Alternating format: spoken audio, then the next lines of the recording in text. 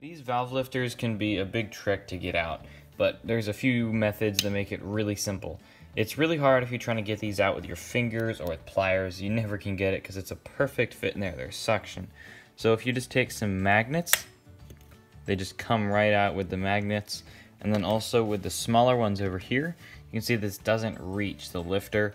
So if I take a smaller magnet and put that on the tip, then I have enough reach to pull that one out. You gotta have a decently strong magnet to be able to pull these off. You can see I'm still kind of struggling.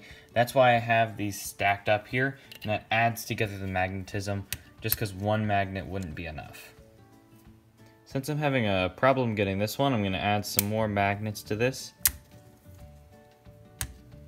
Let's just remove the smaller one.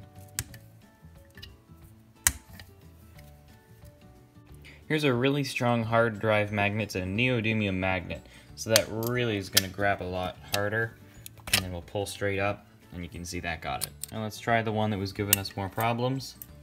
What I found is you just gotta get it flat on there so you have the surface area and then pull up. Another way is if you just turn the head over, they'll just fall out. You can see most of them are out right now.